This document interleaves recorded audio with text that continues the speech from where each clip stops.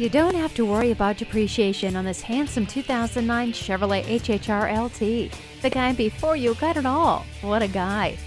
This vehicle is fun to drive, it's nimble, and we were pleased with its acceleration. The HHR feels more responsive than its horsepower, torque, and transmission ratio number suggest. Plus, it gets decent fuel economy. This terrific HHR is available at just the right price for just the right person. You! Stop in for a test drive.